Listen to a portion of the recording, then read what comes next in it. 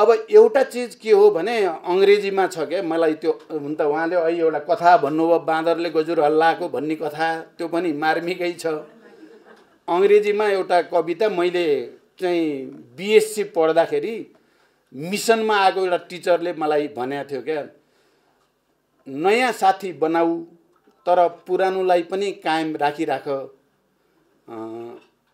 नयाँ भनेको चाँदी हो पुरानो सुन हो। भन्ने गीत थियो क्या त्यो गीत मलाई उनले सिकाएको थिए र मैले गाउँथेँ। अब नयाँ चाहिँ चाँदी हो पुरानो चाहिँ गोल्ड हो या सुन हो भनेपछि त पुरानो बढी महत्त्वपूर्ण हुन्छ नयाँ भन्दा भन्न खोजेको हो त्यो कविताले अथवा गीतले। अहिले मैले हेर्दा जनमुक्ति सेनाका चाहे ती सिधै फाइटरहरू हुन् वा स्वास्थ्यकर्मीहरू हुन्।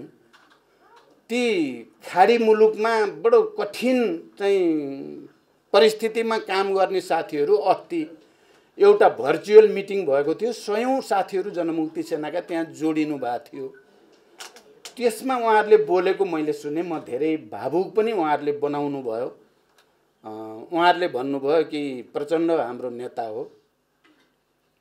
उहाँले अहिले पनि फेरि केही लड्न पर्यो मर्न पर्यो भने हामी यहाँ सबै छोडेर त्यहाँ आउन तयार छौँ।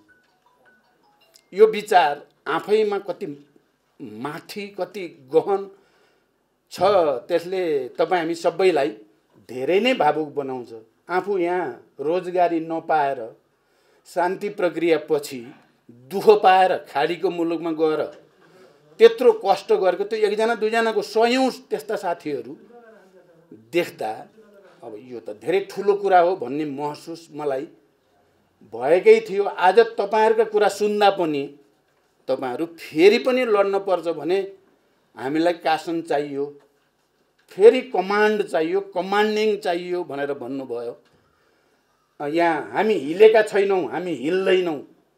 हामी यही लिडरसिपमा हिजो पनि थियौँ आज पनि छौँ भोलि पनि रहन्छौँ भन्नुभयो। मैले अहिले भनेको गीत जस्तै तपाईँहरू सुन्नै हो। त्यो अनुभूति तपाईँहरूले गराउनु भएको छ। म तपाईँहरू सबैलाई धन्यवाद भन्न चाहन्छु। अब अहिले देशको परिस्थिति अलिकति जटिल छ चुनौतीपूर्ण छ। मैले भनेकै थिएँ यहाँ त्यो कुरा पनि उल्लेख गर्नुभयो। केपी प्रवृत्तिका विरुद्ध मैले उन्नाइस पेजको डकुमेन्ट लेख्दै गर्दा मैले साँच्चै नयाँ परिस्थितिमा फेरि अर्को जनयुद्धको थालनीको डकुमेन्ट लेखेको अनुभूति मलाई भएकै थियो भएकै छ। र त्यसले चिनिया आन्दोलनमा बम्बार द हेडक्वार्टर भन्ने हामी सबैले हिजो पढ्थ्यौँ नि बुर्जुवा हेडक्वार्टरमा बम वर्षाउ प्रतिक्रान्तिकारी प्रतिगमनकारी षड्यन्त्रकारी लिडरसिपमाथि बम वर्षाउ भने हो। मैले केपी प्रवृत्तिका विरुद्ध जानी बुझी योसँग अब सम्झौता गर्नु भनेको हाम्रो सम्पूर्ण चिज ध्वस्त हुने खतरा देखेपछि म अब फेरि जेल जान परे पनि तयार मर्न परे पनि तयार तर यो प्रवृत्तिमाथि प्रहार गर्नै पर्छ भनेर गरेको हो तपाईँहरूले। सायद त्यो पढ्नुभएको छ होला। त्यो अहिले युद्ध भएर हिंसामा जाने कुरा त त्यहाँ मैले गरेको पनि होइन। अहिले नै त्यो परिस्थिति पनि होइन तर जसरी युद्ध भनेको हिंसासहितको राजनीति हो। हामीले गरेको त राजनीति चाहिँ थियो नि त्यो युद्धमा पनि। सामन्तवादका विरुद्ध निरङ्कुश तन्त्रका विरुद्धको राजनीति गरेको युद्ध मार्फत अहिले फेरि शान्ति मार्फत हामीले युद्ध गरेको हो। प्रतिक्रियावादी विचारका विरुद्ध प्रवृत्तिका विरुद्ध दक्षिण पन्थका विरुद्ध फेरि एउटा नयाँ युद्ध गरेकै हो। त्यो युद्ध अहिले चलिरहेको छ त्यो युद्ध अहिले चलिराखेकै छ। हामीले संसद विघटनका विरुद्धको यो संविधान खारेज गर्ने सङ्घीय लोकतान्त्रिक गणतन्त्र नै खारेज गर्ने षड्यन्त्रका विरुद्ध देशव्यापी अभियान चलायौँ र त्यो ब्याटल त हामीले जित्यौँ तर हामीले वार चाहिँ जितेका छैनौँ। अझै पनि ठुल्ठुला षड्यन्त्र भइराखेका छन्। तपाईँ हामीले तपस्या र बलिदान गरेर ल्याएको राजनीतिक परिवर्तनमाथि हमला भइ नै राखेको छ। त्यस कारण हामी सबै सजग भएर फेरि एकचोटि आफ्नै खुट्टामा उभिने। हामीले अलि योसँग मिले होला कि त्योसँग मिले होला कि यो गरे होला कि त्यो गरे होला कि भनेर धेरै गरियो। तर आफ्नै साथीहरू छुट्दा आफ्नै धरातल चाहिँ कमजोर हुँदा चाहिँ हामी अलि कमजोर भएको जस्तो देखिएको पक्कै पनि हो। अहिले फेरि हामी आफ्नो धरतीसँग जोडिने आफ्नै खुट्टामा उभिने आफ्नै पुराना साथीहरूलाई एकता सबै सबै क्रान्तिकारीहरूमाथि नै भर पर्ने।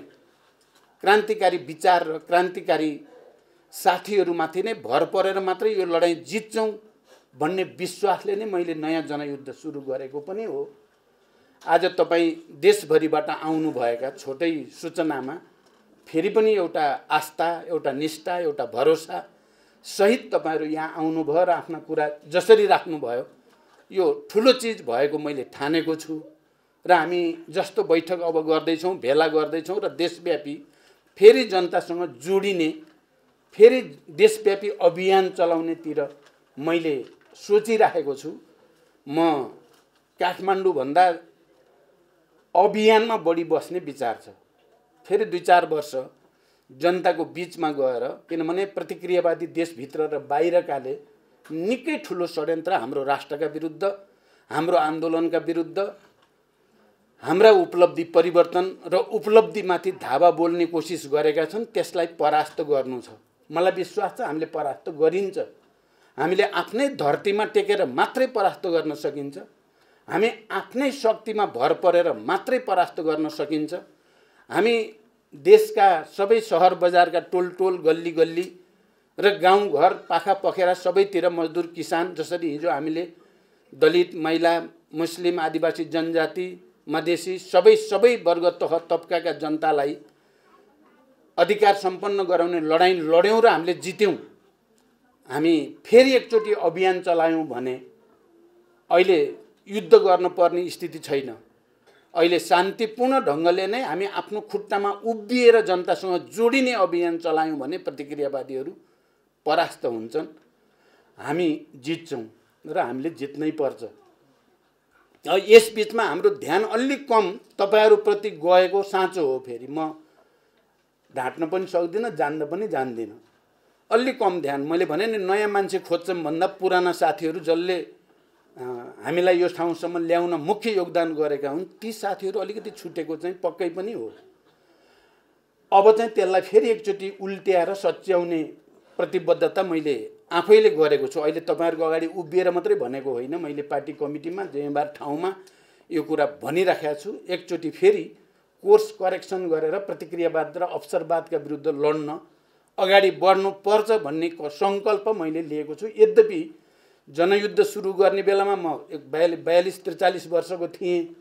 अब अहिले छैसठी सतसट्ठी वर्षको भएँ। उमेरले कति दिन्छ भनेर पनि कतिपयले भन्छन् ल अब उमेर भएका त छोडिदिन पर्छ भन्छन्। म छोड्नेवाला छैन। माउ सेतुङले बहत्तर वर्षमा सांस्कृतिक क्रान्ति गरेका थिए।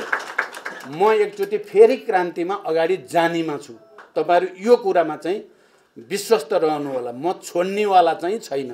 म लड्नेवाला नै छु। मैले लडेँ अहिले पनि। एउटा ब्याटल त लडेँ मैले अहिले। र त्यो ब्याटल हामीले जित्यौँ पनि।